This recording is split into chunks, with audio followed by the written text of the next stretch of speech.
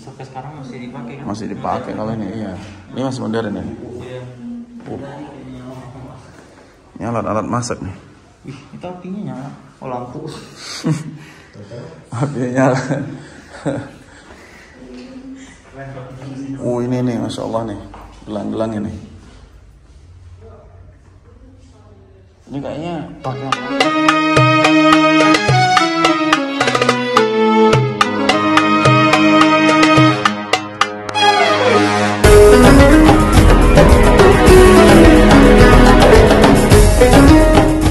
seperti ini.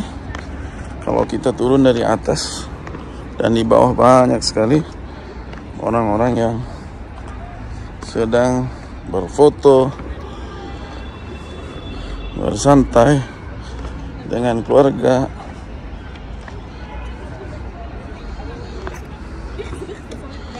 Jadi setiap warisan leluhur satu negara dan bisa dilestarikan itu bisa menghasilkan uang bagi negaranya. Karena kita mau masuk ke sini aja itu sudah harus bayar. Oke. Kalau di sebelah kiri itu apa itu? Museum ya? Coba masuk sebentar ya museum apa itu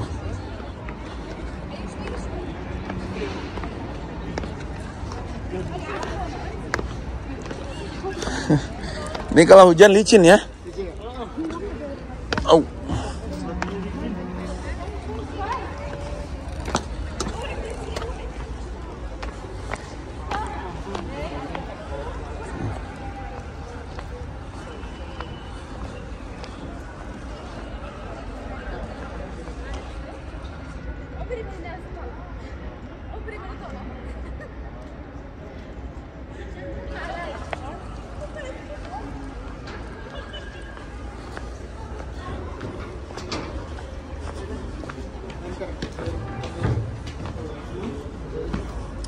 Biasa kalau musim salju Januari ya.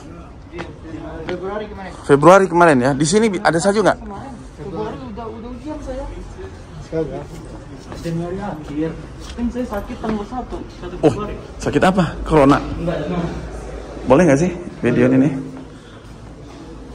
Tamam. Oh, yang paling penting pakai oh ini ya peninggalan peninggalan zaman dahulu ya. Ini ke atas apa nih ke atas? Ke atas aja ya. Hmm. Seperti ini museum yang ada di Yordan. Oh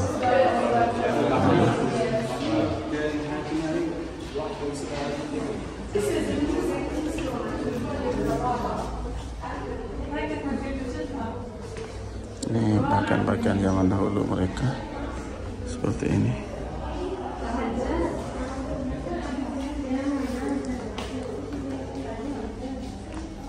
Oh.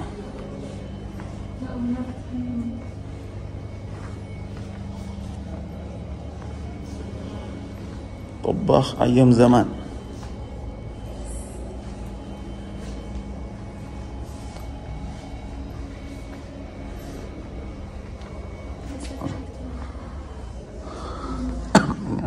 Penjahit zaman dahulu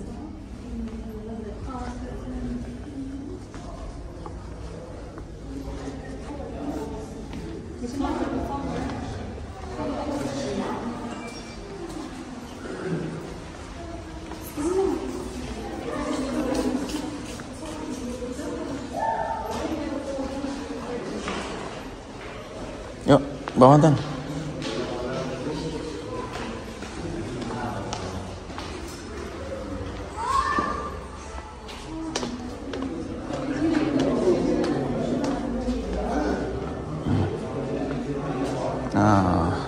Biasa sering dipakai ini kalau di restoran-restoran, kafe-kafe di Arab Saudi juga sering dipakai baju-baju seperti ini.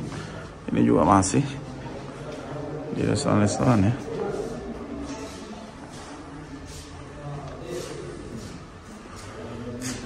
Ini berarti penjahit zaman-zaman dahulu ya. Dan ini juga salah satu apa? Baju khas Yordan. Yordan. Ini dia ya. Seperti ini. Kalau mau beli seperti ini tempatnya di mana biasanya? Oh di Al-Balad ya. Bahasanya Al-Balad kalau. Nah. Ya, Masya Allah. Naik onta aja keren ya. Gimana aslinya naik onta juga keren tuh.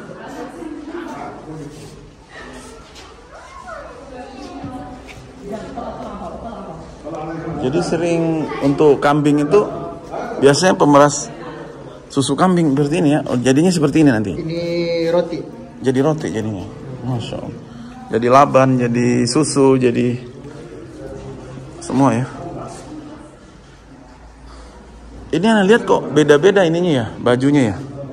Ini khasnya apa ini? Ini kalau ini orang Badui biasanya. Iya, maksudnya yang sana itu ini bosnya, syekhnya, dan ini penyanyinya.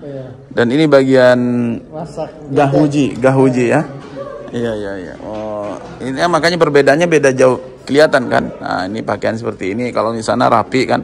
Kalau yang ini eh si, apa? Seniman itu. Jadi agak gaul dikit gitu pakaiannya. Oh, kalau zaman dahulu seperti ini ya. Jadi kalau orang mau jalan harus ditandu seperti ini. Masya Allah.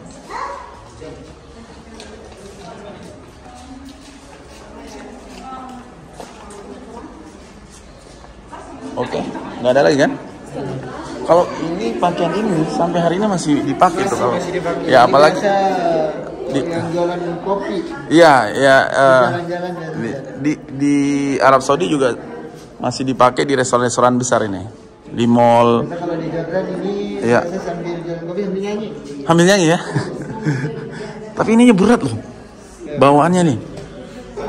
Iya kan? Dia masya Allah itu. Hah? Ya, gede itu kan ada isinya mas itu. Oke, yuk.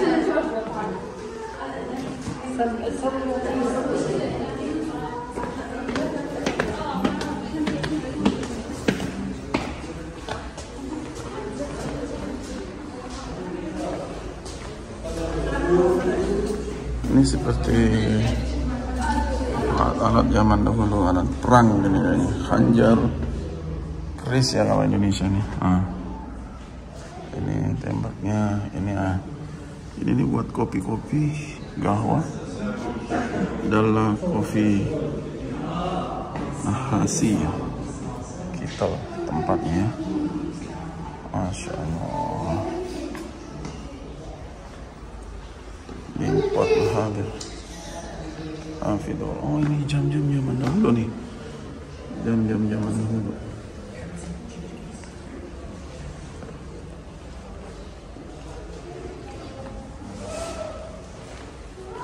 Sini nih di sini ini petanya nih. Department of Antique of Jordan. Oh ini Dairatul Athar Al-Amah. Jadi tempat-tempat antik tuh ada di sini. Ini 16 uh, the Jordan sitting area weapon musical instrument antique Davis traditional tool Gurfan Nul Albert Al-Fallahi. Oh ini Albert countryside room Haya Al-Madinah.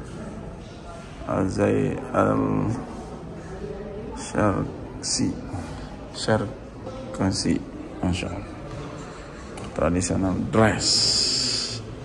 Nah Oke Kita sudah selesai dan kita keluar lagi Tempatnya di sini. Nah Ini tempat-tempat Untuk eh, Apa namanya Turis-turis ya Di sini.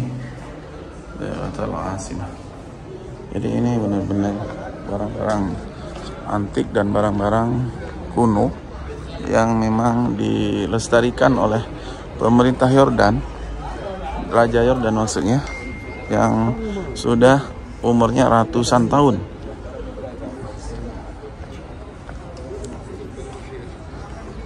Peninggalan zaman dahulu ini. Masya Allah, barakallah. Kita bisa ke sana lagi Jordan Museum of Popular Tradisional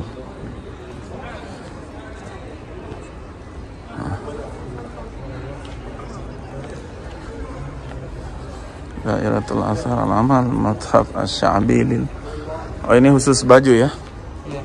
Khusus baju di sini.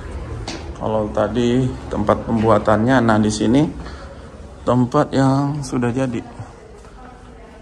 Nah, oh, jadi tadi tempat pembikinannya, baju-bajunya ada di sini, berarti gitu ya? Ya. Hmm. Ini apa perbedaannya kok beda semua nih?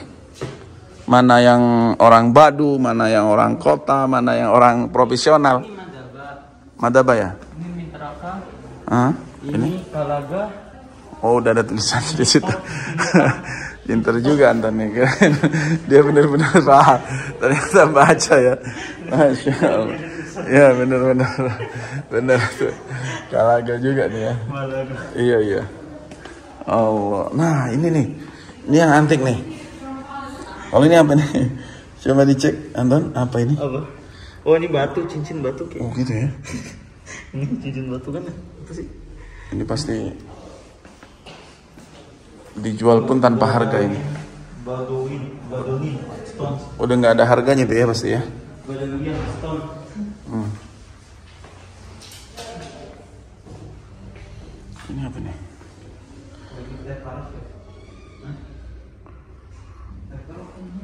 Oh ini ini penghasil dari dari laut loh ini.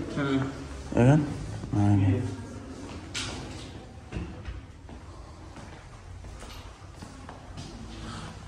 Nah ini ini, ini Anton nih sur, surbannya apa nih? Ini jenis-jenis raja kah atau apa nih? Belum pernah lihat tuh. Belum pernah lihat nih, zaman dahulu pasti. Oh.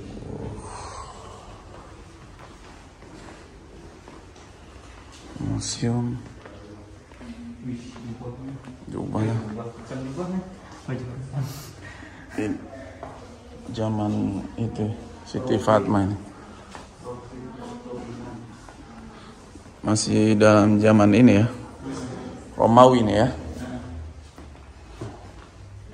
Oke. Wah ini yang bagus-bagus nih. Kalau ini udah modern nih kayaknya. Udah modern ini. Hah? Modern kayaknya. udah modern ya? Sampai sekarang masih dipakai kan? masih dipakai kalau ini iya. Ini masih modern ini. Ini alat-alat masak nih. Wih, itu apinya nyala. Oh lampu. apinya nyala. Oh ini nih masya Allah nih. Gelang-gelang ini. Ini kayaknya pakaian raja deh. Hah? Iya kan?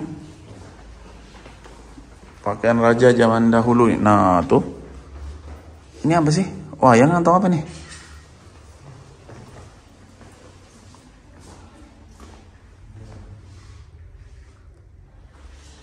seperti wayang ya? Mirip wayang gitu ya? Oke. Alhamdulillah kita sudah selesai keliling di museum eh, antik Yordan ya. Namanya gitu di situ? Museum antik Yordan. Gitu ya? Asaria. Jadi ini barang-barang antik yang sudah dilestarikan oleh Raja Yordan dan benar-benar bisa menghasilkan uang. Karena setiap orang mau masuk ke tempat ini harus bayar dulu 60 ribu rupiah ya, kalau uang Indonesia. Hingga sekitar lima puluh ribu. 50 ribu, ya hampir 60 lah. Gitu. Nah, seperti ini. Oh ini nih, ini kalau ini benar-benar pakaian raja nih. Oke. Selesai kita.